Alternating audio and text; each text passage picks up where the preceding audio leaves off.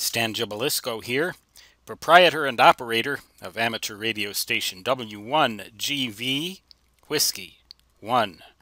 Good vibrations at your service to talk about a technique for shortening the physical length of an antenna while leaving its electrical length the same. It's known as inductive loading and I've just entitled this video antenna loading with coils so that it's a little easier for you to grasp at the outset.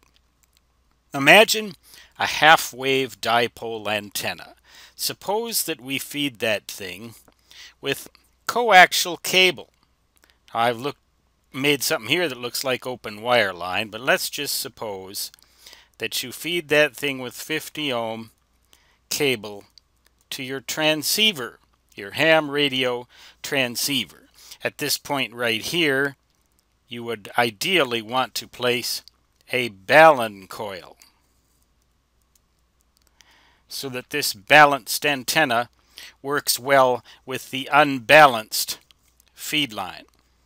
Now, on, say, 80 meters, the 80 meter amateur band, a half wavelength dipole measures roughly 130 to 140 feet from end to end. And you may find that you don't have that kind of physical space in your in your residential lot.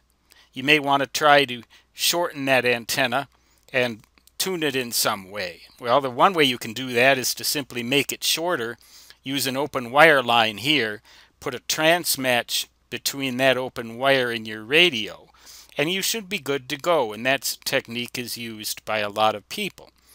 There's another way to do that, though, and that is to shorten the radiator as you normally would do, and then place coils right about in the center of each side of the dipole. Now you can move those coils either side of center, uh, but a good place to put them as a rule of thumb, as it were, is roughly in the center.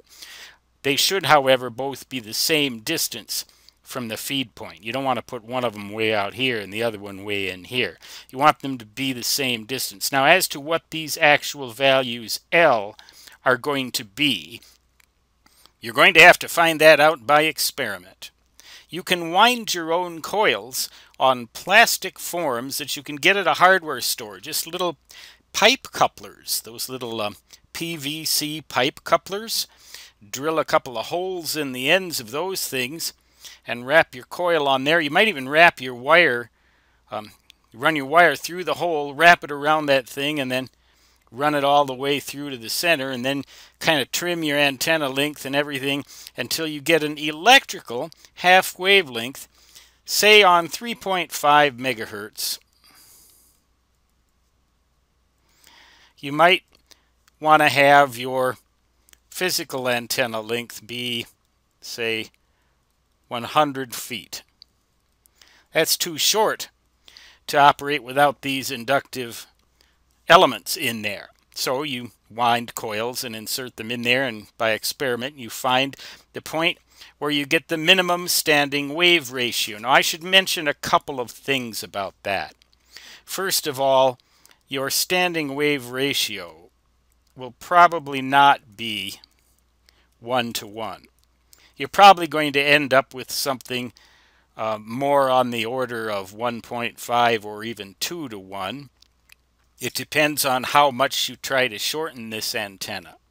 If you use 50 ohm coaxial cable in the ideal case in a full physical half wavelength antenna, you're going to find about a 1.5 to 1 SWR because that'll have a feed point impedance of 73 ohms. If you make this a little bit shorter though, maybe 100 to 110 feet, you might end up with an actual improvement in the standing wave ratio. It might even come very close to 1 to 1, but don't expect it to be exactly 1 to 1. The other thing that you're going to want to be aware of is that when you shorten an antenna like this, you're going to reduce the bandwidth over which you can expect a reasonable standing wave ratio with the thing.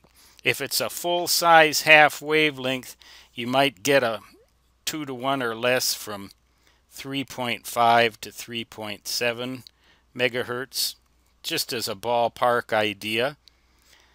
But if you shorten it to 100 feet, you might find that that is reduced to 3.5 to 3.65 or something like that. And the more you shorten it, the larger the value of the inductance you're going to need and the smaller the bandwidth is going to get. And once you reach that one-to-one -one standing wave ratio, if you shorten that antenna further, your best SWR will rise until finally it will exceed 2 to 1 for maybe, oh, say 50 or 60 feet overall length.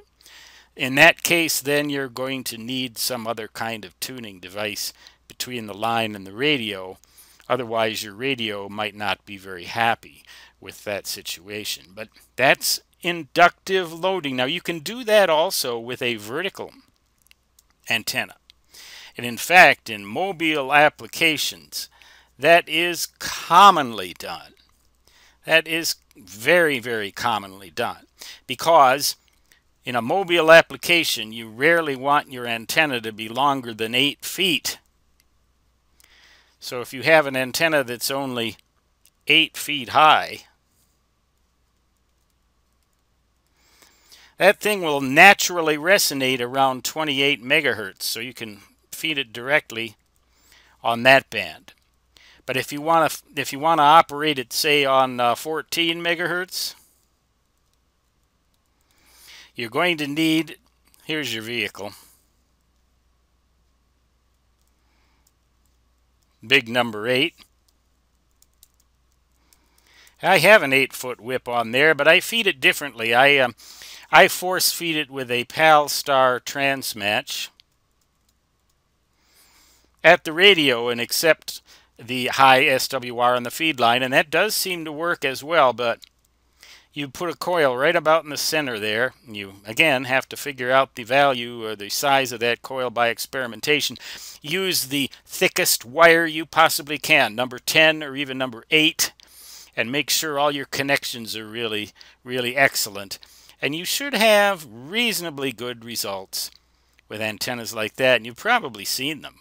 You know, uh, you, you can buy them commercially made, but why do that? Why buy an antenna when you can build your own?